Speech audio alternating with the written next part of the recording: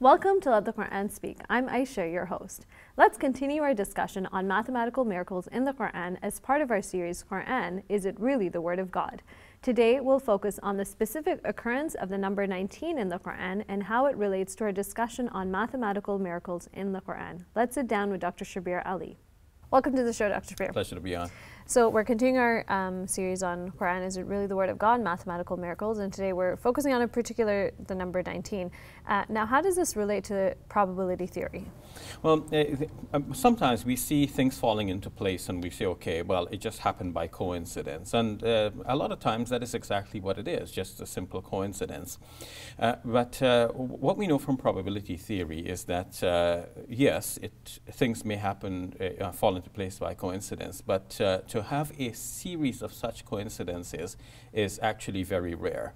Uh, let's say, for example, I, I uh, flip a coin. Now it's either heads or tails coming up, right? Um, and the chance of it being heads is one half or 50% because there, there is one chance out of two possibilities. It's either heads or tails, and I'm looking for that one mm -hmm. uh, possibility uh, out of the two. Uh, now, to, to get heads twice in a row is actually uh, one half times one half, which is one quarter. Okay. In other words, one out of four, because if you keep, if you flip it two times, you can. There are four different outcomes which are possible, and you need heads each time. So you need, you need actually one. You need one possibility out of the four that mm -hmm. could mm-hmm. occur, uh, meaning both are, are, heads. And if you do it three times in a row, the probability of getting heads on each uh, spin uh, is actually one out of eight now. So, so your, your chances, if mm -hmm. three times. Now there are eight different outcomes which are possible, and you want one specific outcome that you have heads on each one of them. Uh, so the, the more you, you, you flip, the, the, the lesser a chance you have that you have your desired outcome. Now, if we, that's with a coin where there are two possibilities, either head or tails, right? If you go to uh, use a, uh, a, dice, which, uh, use a die which has six faces, the probability of getting one particular face, let's say you want the number five for some reason. Most people like to get 6 mm -hmm. right? Yeah, I was going to say. Uh, but, but let's say you wanted to get the number five for some reason. Now, to get that number five, you roll the, uh, the die. Uh, the probability of getting that five is one out of six because there's six different outcomes mm -hmm. you can get, number one, two, three, all the way to six, but you want that specific one. It's one out of five, uh, one out of six. Uh, but if you want to get the five on two throws in a row, then now it is one out of 36. It's uh, because now you, you, you have 36 different outcomes and you want five on each one of them. That's true. Okay, so um, that's one specific outcome out of the 36.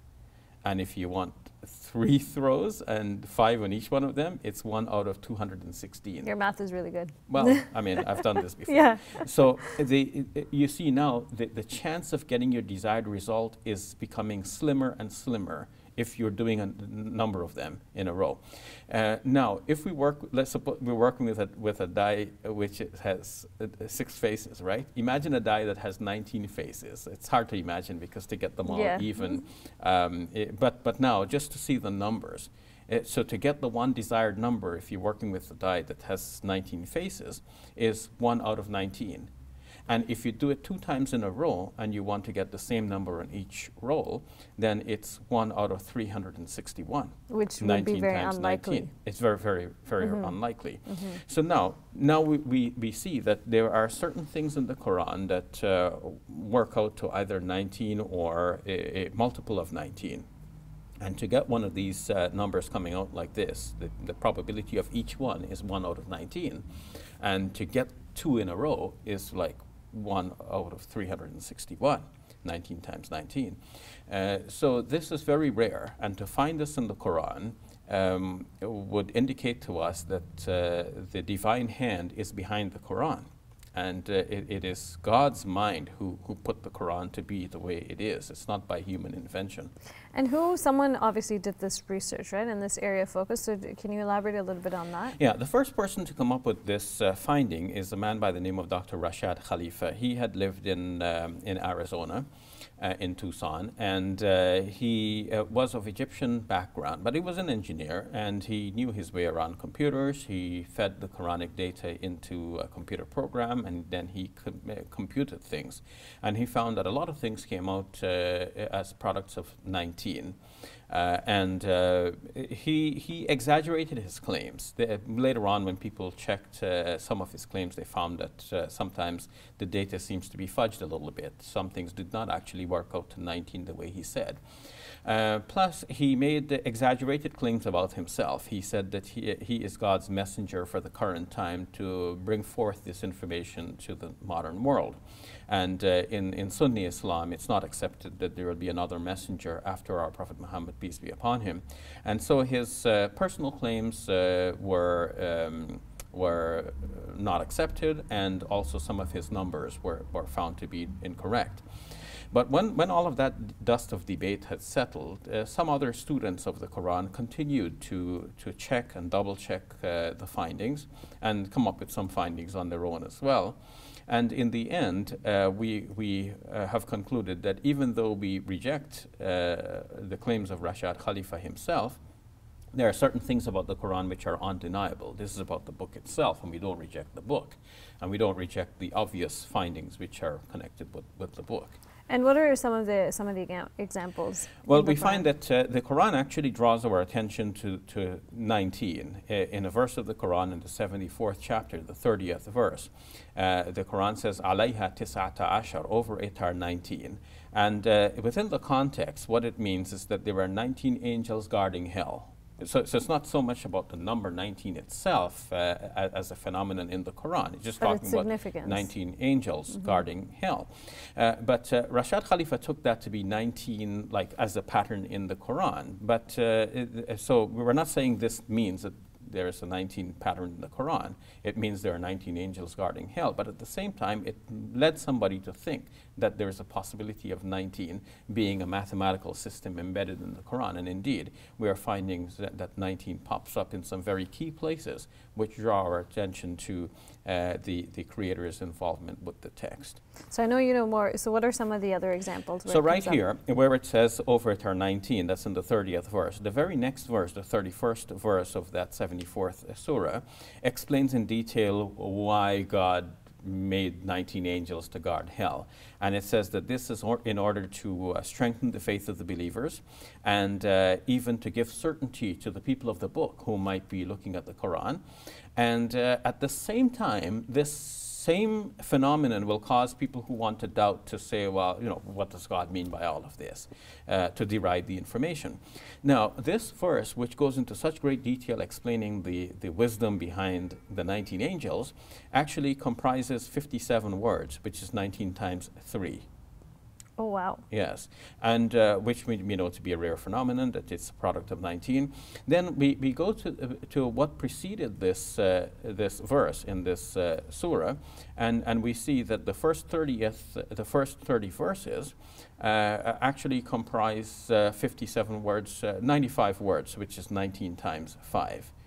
And the first 19 verses comprise 57 words, which is 19 times 3.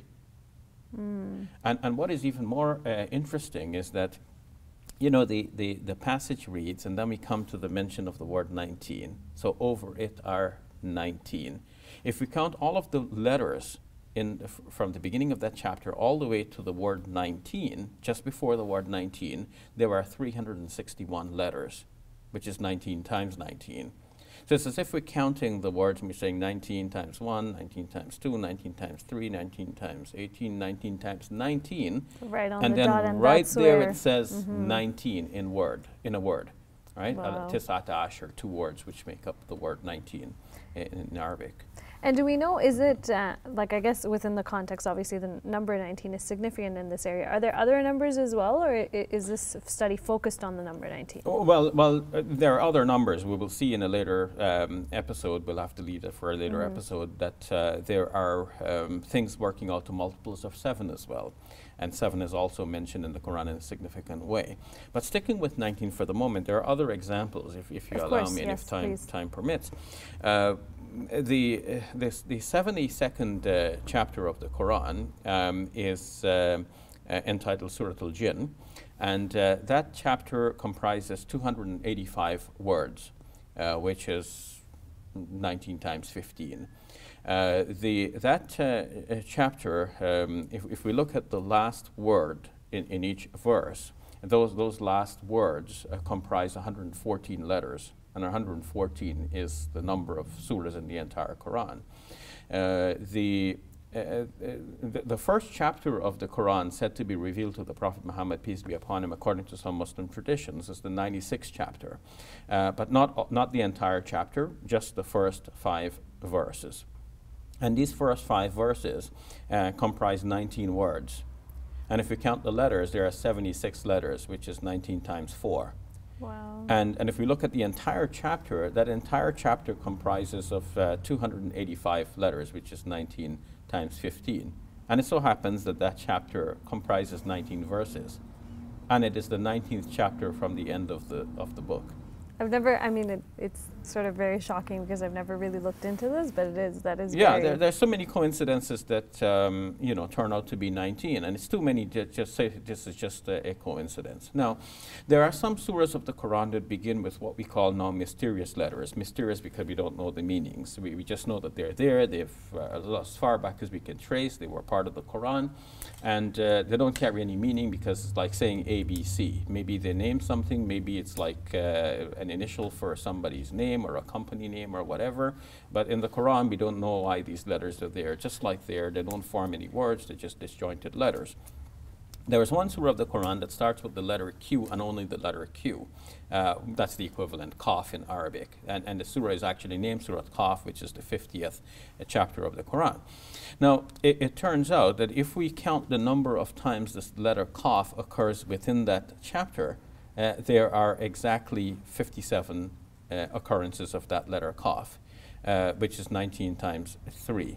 Um, now, you- you- 57 times throughout the Quran? uh, throughout that particular oh, surah, that particular surah. 50th Oh, wow. surah. Okay. Yeah. Okay. Now, there, there is uh, another chapter that has this letter am- amidst other letters. This is the 42nd chapter of the Quran, the Surah Ashura. Now, uh, it says Hamim, Ain, Sin, Qaf, so it has the Qaf right in there. Uh, that surah as well has this letter Qaf occurring exactly 57 times in that surah, which is 19 times 3. Wow. Now, uh, some people said that uh, occurring at the beginning of the 50th chapter stands for Quran because that's the letter that spells the word Quran. Um, uh, we can't be sure that that's the meaning because we said the meaning is mysterious. We don't know. But if we think about this for a moment, there are 57 Qafs in that surah and 57 in the other surah. The two together make up 114, which is the number of surahs in the entire Quran.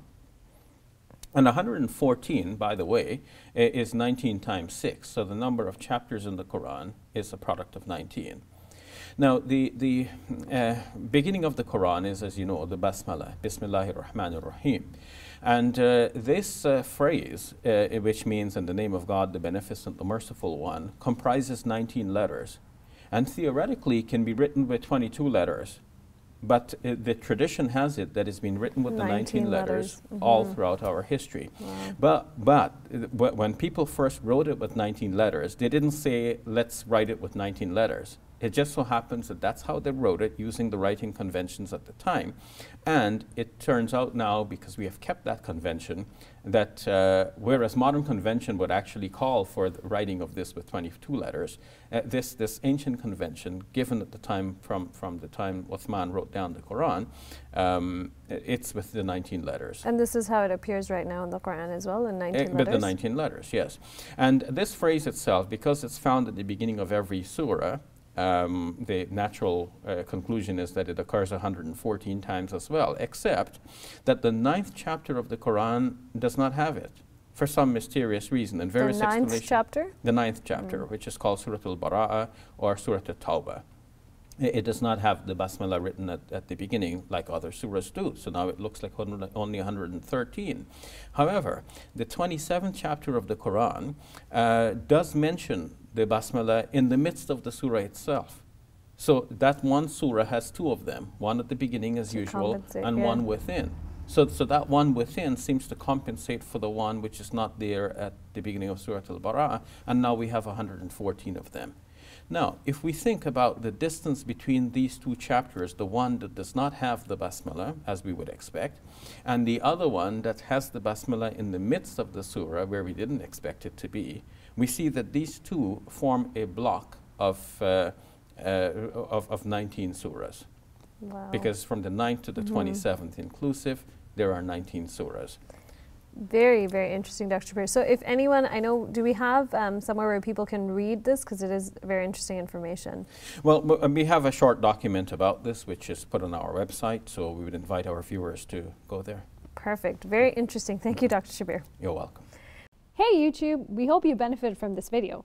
If you liked it, or if you didn't, let us know in the comments below. And if you're interested in learning more, check out some of our other videos. And don't forget to subscribe so you can get new videos every Monday, Wednesday, and Friday.